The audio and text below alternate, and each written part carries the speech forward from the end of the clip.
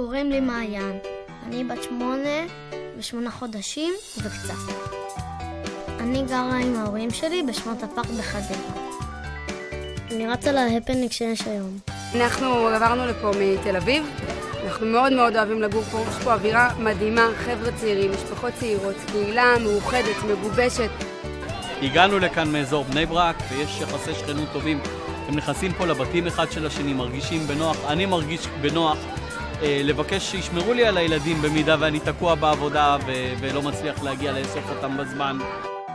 הגעתי מנתניה לשכונת הפארק, אה, נהנית פה מהקהילה, מהחיי קהילה הענפים שיש, כל הזמן פעילויות, אה, חבר'ה מגובשים, מלא חבר'ה צעירים. אני אבא לשלוש בנות, וכל חג יש פה איזשהו אירוע, אם זה פעם אחת בית קפה להכיר את כל המבוגרים, אנחנו הולכים הרבה פעמים לכל מיני ט"ו בשבט, נטיות, דברים כאלו.